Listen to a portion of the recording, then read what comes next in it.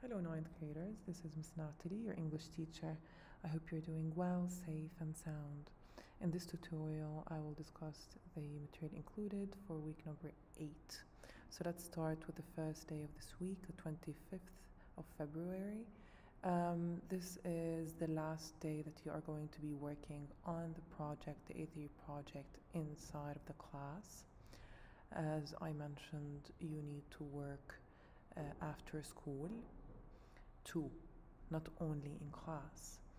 Um, on this day, you are going to construct or let's say uh, craft your poster so you can actually copy it when it's done, which is step number three. Let me go back. It's right here. The instructions of constructing the poster are laid down, so please read it carefully and follow the instructions. Okay, um, now on the next day, you are going to have your A3 exam, so please be prepared.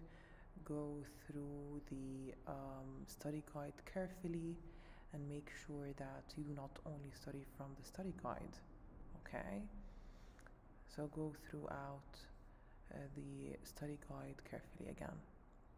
Now, on the third day, we are going to start with building an overview of the new external topic or text that we are going to tackle. It's a novella titled The Pearl.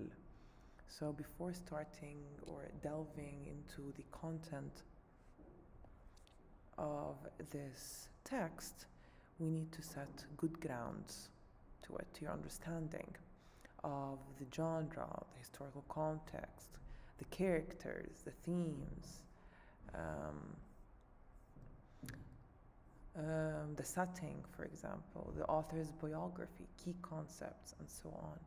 So you are going to work in groups. I, I will divide the class into four groups. Each group will work on a specific topic in reference to the novella. Uh, group number one will work on the genre exploration and setting. Group number two will work on finding information uh, on historical context, key concept, and the author's biography.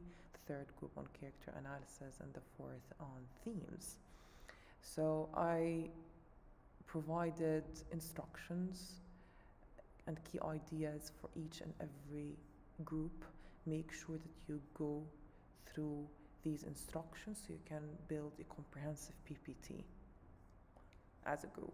Now, of course, many resources explain um, this novella, but I attached for you the two, one of the two, uh, sorry, two of the main or primary resources that you can extract information from about the novella. Number one, you have LitCharts. Number two, you have Spark Notes. They are very helpful. So while building your PPTs and working on your project, please refer to these uh, two primary resources, along with, uh, of course, P PPTs and um, tutorials. Okay, now on the 28th of February, you are going to keep or continue working on the project. I added here different tutorials for you about the author and information about allegory. Now, on the 29th, it's the last day where you are going to prepare for your PPTs.